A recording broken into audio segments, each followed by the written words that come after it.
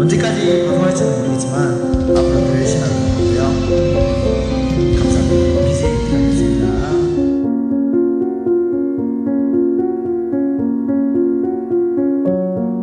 뭐 인기도 없고 사실.